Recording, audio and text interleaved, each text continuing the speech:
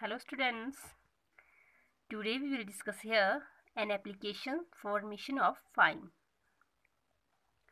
remission of fine का मतलब क्या हुआ? जुर्माना माफ़ी के लिए प्रार्थना पत्र, ठीक है? Remission का मतलब माफ़ करना, ठीक है? फाइन जुर्माना। Let's start to the headmistress माँ सरस्वती पब्लिक स्कूल्स रुआ। यहाँ पे आप अपने स्कूल का नाम लिखेंगे, ठीक है? एंड सिटी, जहाँ पे आपका स्कूल पड़ता है, यहाँ पे आपने उसका नाम लिखना है, ठीक है ना? जो आपके स्कूल का एड्रेस है, वो आपने यहाँ पे डालना है। सब्जेक्ट क्या है आपका? एप्लीकेशन फॉर्मेशन ऑफ़ फाइन, ठीक है ना?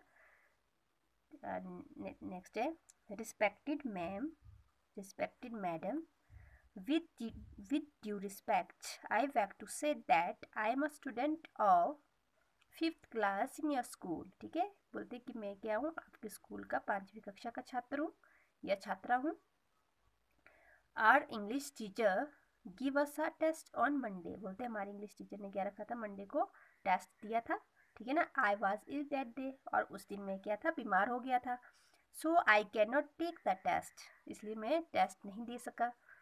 The teacher has fine me hundred rupees तो टीचर ने मुझे क्या किया बोलते सौ रुपये का जुर्माना कर दिया, ठीक है? I wanted to take the test मैं जो है टेस्ट देना चाहता था बट आई वॉज़ हेल्पलेस मैं हेल्पलेस था, ठीक है? मतलब मैं टेस्ट नहीं दे सका हेल्पलेस था। I am a good student in English बोलते मैं इंग्लिश में बहुत अच्छा स्टूडेंट हूँ, है ना? इंग्लिश उसको अच्छे से आती है। So kindly remit my fine इसलिए मेरा फाइन माफ़ कर दें, है ना? मेरा जुर्माना जो है माफ़ कर दें। I shall be grateful to you आपकी बहुत मेहरबानी होगी, बहुत कृपा होगी, है ना? योर ओबिडेंटली आपका आज्ञाकारी शिष्य।